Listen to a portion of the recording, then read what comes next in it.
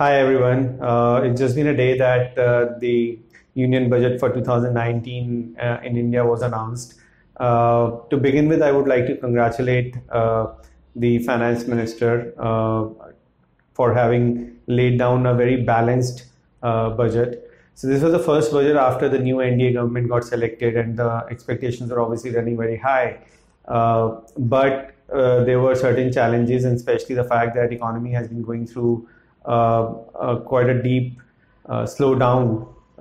we wanted to see what areas the FM would really touch upon. Um, I'm a firm believer that any government uh, should look at a long term horizon and plan things in a way that allows it uh, to create economic growth story for a period of uh, 10 odd years. In the interim budget for in February 2019, the erstwhile FM did lay down 10 uh, agenda points which this government would look at if if they are continuously elected to power for next 10 odd years. The good thing I noticed was that the current FM uh, started off from the same 10 point agenda and laid down a directional budget for the next five years.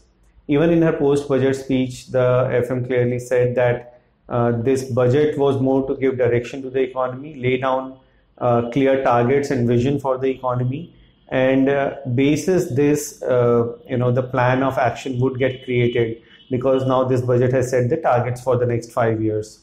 Uh, so i would say that the theme of budget was really to lay down the vision and the targets for the next five years identify the sectors which really would need to get invested in and also at the same time focus more on ease of doing business ease of living as well as create an ecosystem where savings and investments can flourish. This was also a requirement from the economic survey, which, which clearly highlighted that the economy is going through a slowdown.